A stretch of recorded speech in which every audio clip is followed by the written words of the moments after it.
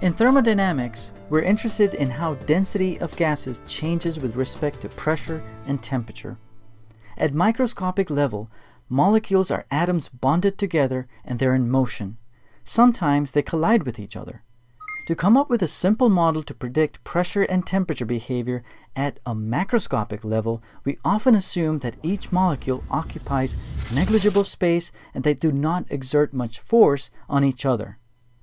This assumption leads to the ideal gas model and the well-known equation of state, PV equals nRT.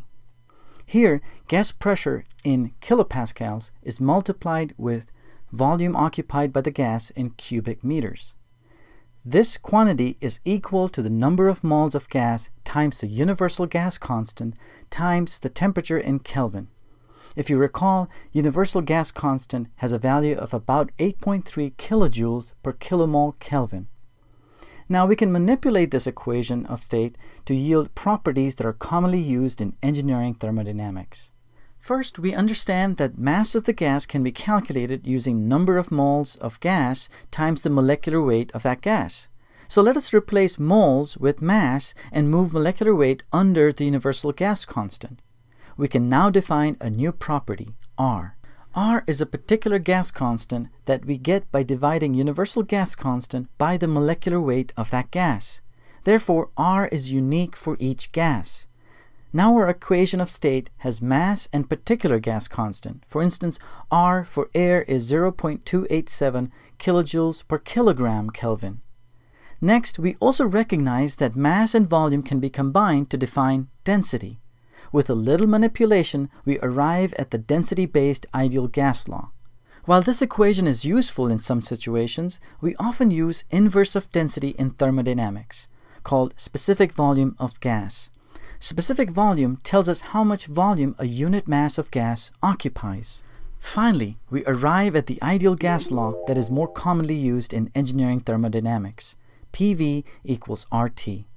This simple equation not only defines the state of the gas, but also allows us to understand the relationship between its properties, namely pressure, temperature, and specific volume. Let us explore this relationship for nitrogen gas. At typical conditions, nitrogen gas behaves like an ideal gas. Here we have pressure plotted against specific volume. To graph this behavior, let us make pressure the dependent variable and volume the independent variable. Hopefully this looks familiar. R and T are held constant. Remember, R is the universal gas constant divided by the molecular weight of nitrogen. Now we can plot pressure values with increasing specific volume for a constant temperature of 300 Kelvin. This line is called an isotherm. We can do the same for 400 Kelvin, 500 Kelvin, and 600 Kelvin. We just generated a property chart showing us as nitrogen pressure increases at a constant temperature, the gas occupies smaller and smaller volume. Next, let us see how pressure and temperature are related. We divide our ideal gas law on both sides by specific volume. Next, we keep the R divided by specific volume quantity constant and then vary the temperature. Selecting 1 meter cubed per kilogram for specific volume, we get a linear relationship between pressure and temperature. The line here is a constant specific volume line called an isochor. It is telling us that if we change nitrogen's pressure without allowing it to expand or contract, the temperature will also change. We get subsequent specific volume lines by increasing the value to 2, 3, and 4 meter cubed per kilogram. For temperature specific volume chart, we make temperature the dependent variable. If we keep pressure at 100 kilopascals and vary the specific volume, we get a linear relationship with temperature. The lines here are called isobars since pressure is being held constant. The trend should make sense. At a constant pressure, close to the atmospheric pressure, as you cool nitrogen, it will occupy smaller and smaller volume. In other words, it'll get denser. Subsequent increase in pressure will yield corresponding isobars. These property charts are powerful visual tools for studying ideal gas behaviors. The charts not only relate the ideal gas properties, but each point on these charts represent a state of that gas. the same state can be identified on other property charts. More importantly, we can show what happens when the state of the gas changes. For instance, let us increase the temperature of the gas and arrive at a new state. We're going to call this a process.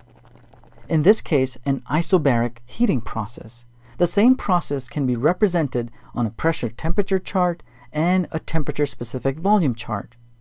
Since both the starting and the end states have the same particular gas constant, we can manipulate the ideal gas law to generate an equation that looks like this. For the process that we just plotted, the pressure was held constant, therefore it can be crossed off. Now given a single property of the new state and a known previous state, we can define the remaining unknown property. Let us continue and go through an expansion process, an isothermal expansion process in this case. The equivalent processes can be mapped to other charts. Notice the increase in specific volume associated with this expansion. Next, how about we cool the gas while maintaining a constant specific volume back to the original temperature? This cooling process is depicted on the pressure temperature chart on a constant specific volume line and on the temperature specific volume chart as a vertical drop. Finally, we compress our gas isothermally to increase the pressure and arrive where we started. These four processes constitute a thermodynamic cycle. Cycles are important when studying power generation devices such as your car engine. Keep in mind that processes do not have to follow a constant property process. They can change all the three properties at the same time. These are called polytropic processes. Here, we have too many unknowns in the given equation. Instead, we use polytropic relationships to predict changes in properties during processes. You can now see how this simple model of gases is so useful in predicting gas behavior.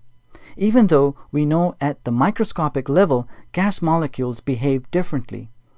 Ideal gas model can be applied to most gases like hydrogen, nitrogen, oxygen, carbon dioxide, and even air.